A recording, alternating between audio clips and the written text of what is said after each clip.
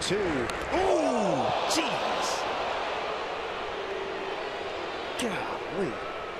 Mm. Rick Griffin, the trainer, out there immediately.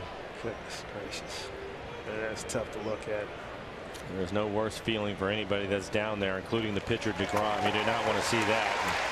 That'll be the end of the day for Mitch. Hopefully he's going to be okay. Looked like it hit him in the nose. Yep.